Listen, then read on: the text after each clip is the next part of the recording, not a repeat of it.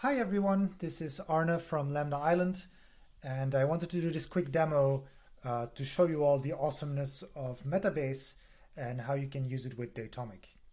So Metabase is, a, is this sort of business intelligence tool. It's an open source way of digging into your data, of putting your data in the hands of you know your users or people in your company um, with this quite intuitive query interface. Um, and it's actually written in Clojure, which is quite cool. And I think it's uh, it's not as widely known in, in Clojure circles as it should be. Um, so it's open source. There's an enterprise version, um, but you can run it for free. You can try it out um, and already do quite a lot with the with the open source version. Now, Metabase comes with a whole bunch of drivers, so you can plug in, you know, your Postgres or your MySQL or all kinds of different databases. Um, but it, until recently, there wasn't a driver yet for Datomic. Now that changed. So the uh, company Eleven, uh, which is building a quite innovative product for accountants, uh, sort of bringing accounting into the 21st century, they wanted to use Metabase. They were using Datomic. They want to bring the two together. And so they commissioned Lambda Island to build this driver. Um, so Metabase has a, a, pluggable architecture. It's basically a jar that you build which contains a driver that you put into Metabase's plugin directory, um, and then you can start creating mm, Datomic databases inside Metabase and start exploring them. Um, now, the easiest way to try this is through the Docker image. So Metabase itself ships uh, a Docker image, which is a quick way to start Metabase and try it out. Um, this Metabase Datomic Docker image is really just the Metabase image plus the Datomic driver added. So um, you can copy paste that into a terminal and you're basically off to the races. So I'm gonna do that. Uh, Docker run Lambda Island Metabase Datomic. Now there's two things you're gonna have to uh, keep in mind which is A, that you want to be able to access Metabase, which is running on port 3000 inside this container. And also Metabase is going to want to access your Datomic database and transactor. Um, so for the first one, um, I don't know, where does the P to P goes after the run, right? For the first one, you can do this. So it exposes port 3000. You can say, map that to the port 3000 on my host. Um, for the second one, you typically would make sure that your uh, Datomic transactor is listening on an interface that that that container can access. Now to make it even easier, uh, I'm just going to do this net is host, which will make Docker use the networking stack of the host machine of my laptop so that we can just very transparently uh, connect in either direction. So if you run this, it's going to have to download the image first, presumably, but in my case, that image is already there. So now Metabase is booting up, which takes a little moment, but we'll give it some time. Um, meanwhile, I'm going to start my Datomic Free transactor. Um, of course, you can use this with Datomic uh, Pro as well.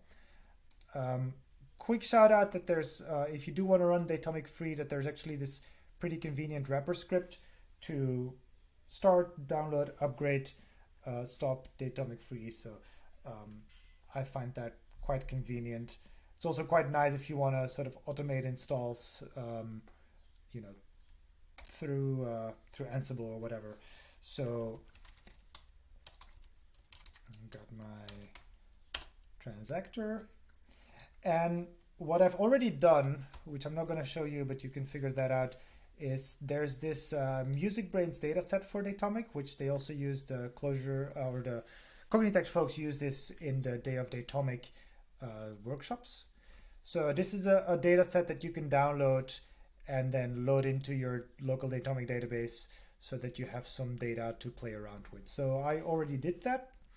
Um, and so let's see if we can connect to Metabase. All right, here we are. Um, if you did this too soon, then you'll get a screen saying, okay, you know, Metabase is still starting, but that's fine. If you refresh a moment later, you should be here. Now, because your database is completely empty, or at least your Metabase setup is completely empty, uh, there's no users, there's no database connections, so we need to do a little bit of initial setup first.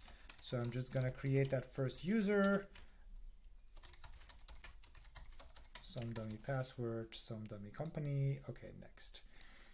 And then here, like I said, there's, you know, there's quite a bit in there in terms of database support. Um, but the thing that I want to point out now is this one, Datomic. And so we'll call that MusicBrainz. Uh, I got the URL here. And then there's a couple driver specific things that you can figure basically by pasting a blob of EDN in there. I'm not gonna go into that now. So, okay, now Metabase is starting to scan our uh, MusicBrainz database.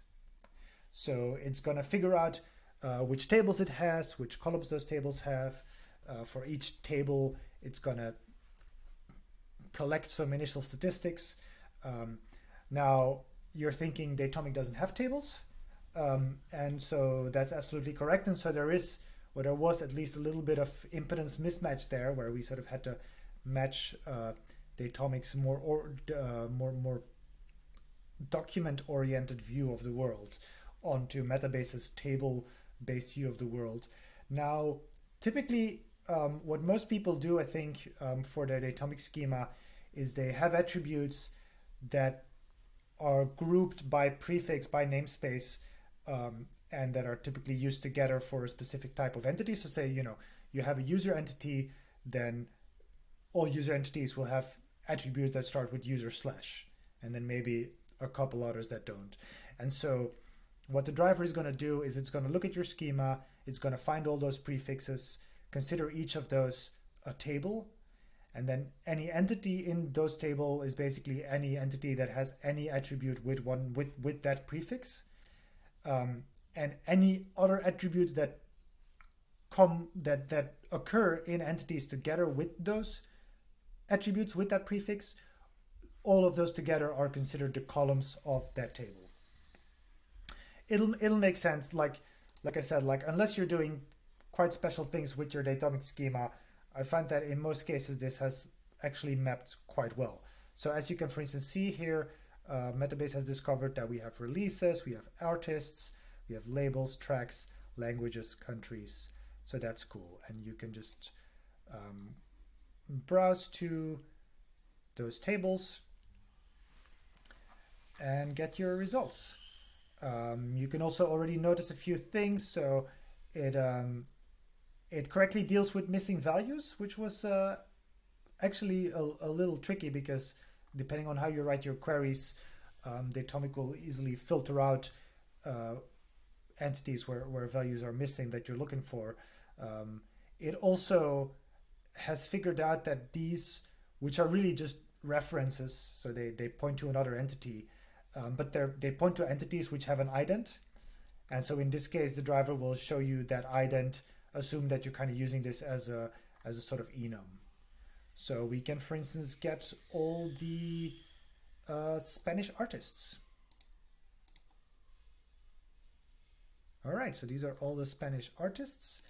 Um, and we can see how many those are. That's 58. Um, and let's, for instance, group those by gender. So there's 10 female, 24 male, and 24 uh, other or unspecified. Um, and then, well, let's see, can we maybe also combine this with, uh, well, with the type? What do we get for the type? All right, so this, and this already kind of makes sense here. You see that gender is unset for groups, but it's, it's set for these persons. It's already a, a little insight in the, in the data we got there. Um, let's see if we group these by the start year. Does that tell us anything? Maybe this uh, makes more sense as a line chart. Okay, so it seems that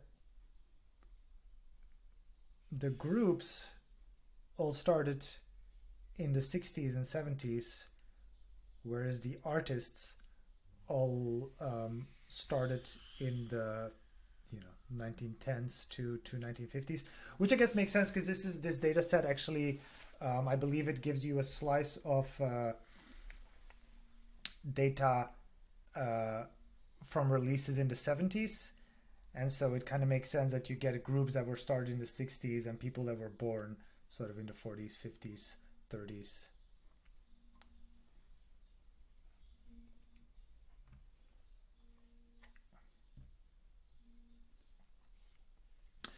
Okay, so what else can we do? Um, you've also seen, so I kind of clicked through here, our data, where you can sort of explore these tables. But um, you also get these x-rays, which are kind of um, insights that, that Metabase provides uh, out of the box. So it sort of gives you a, an overview of what's in that table. So we have 4,600 distinct artists of three types, three genders in 68, 68 countries and then it shows you some groupings and then you can see here which tables are related to this so I guess there are releases for artists here we already have a, a bunch more. There's four types of packaging 49 languages. Um, so that's all pretty cool. Um, let's see. Can we get some more information here?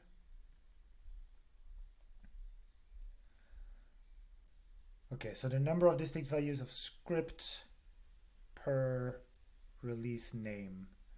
Yeah, that's perhaps not the most interesting query, and it also seems like we're getting a lot of data back, which is putting some pressure on the front end.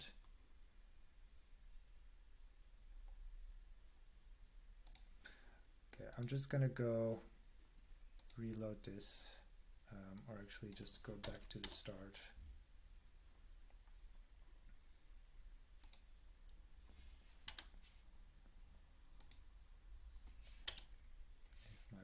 wants to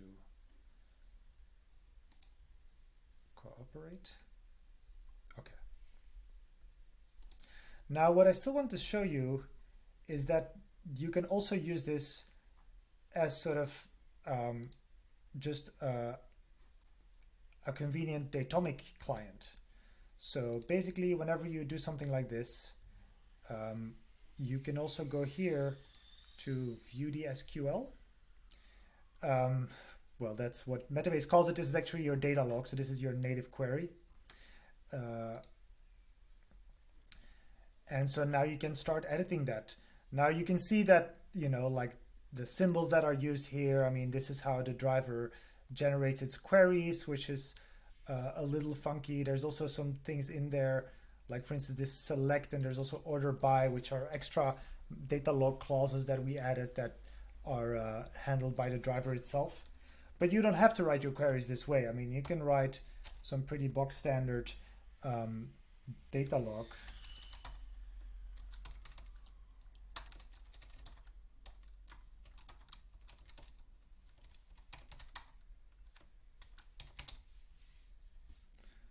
And uh, if I did that right, then that should give us, there you go, here we have our artist's name. So this is also fun and then, you know, you can still get you know visualizations of that. So even just for that just for having this kind of you know GUI datomic uh, client can already be a lot of fun. So i hope that was useful and i hope uh, more people will try it out. So thanks for watching this video